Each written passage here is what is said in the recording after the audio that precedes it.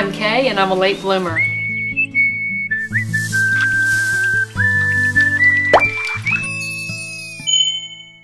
What can you grow in 300 square feet in a front yard? Time to check in with the Late Bloomer Summer Garden.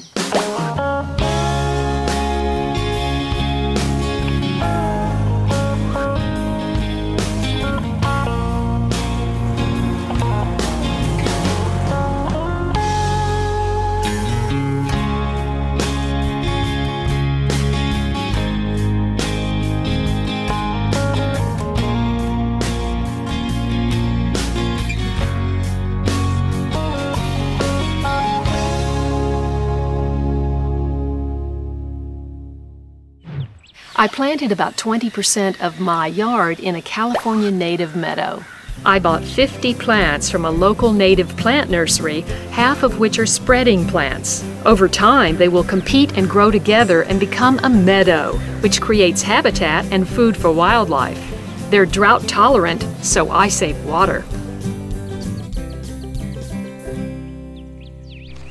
Amaranth, reseeded from last year, just exploded and we transplanted it all along the fence. Amaranth is an ancient grain. It's beautiful, it's drought tolerant, and almost all of the plant is edible. But I planted it because it matched my shutters. The local parrot population made it their personal mission to wreck my sunflowers.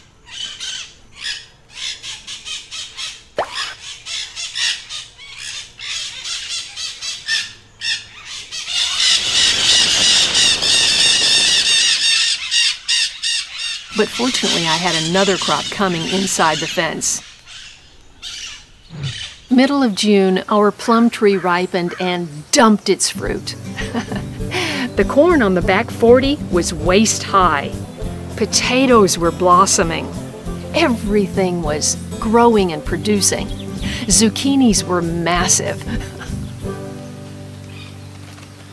Check this one out. That's about a kilo. They can really get away from you if you don't uh, keep on top of it. These three green zebras, the one on the left is not ripe, the one in the middle is perfect, and this one is a little too ripe. I had lots of beautiful royal burgundy and blue lake beans, and melt in your mouth sweet strawberries.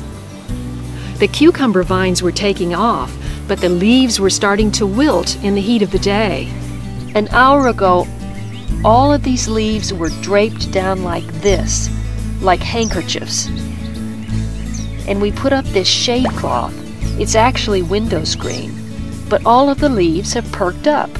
It seems to be normal, but I thought this is going to weaken the plant and make the plants more susceptible to disease and pests.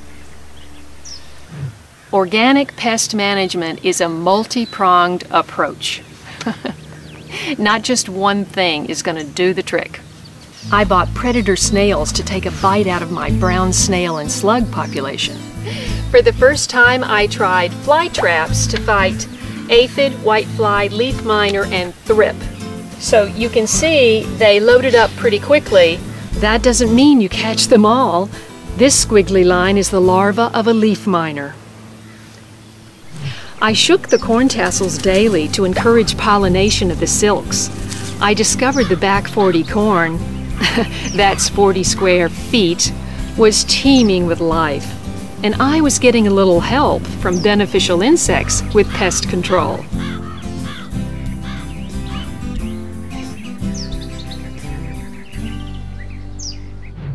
I harvested all of my potatoes.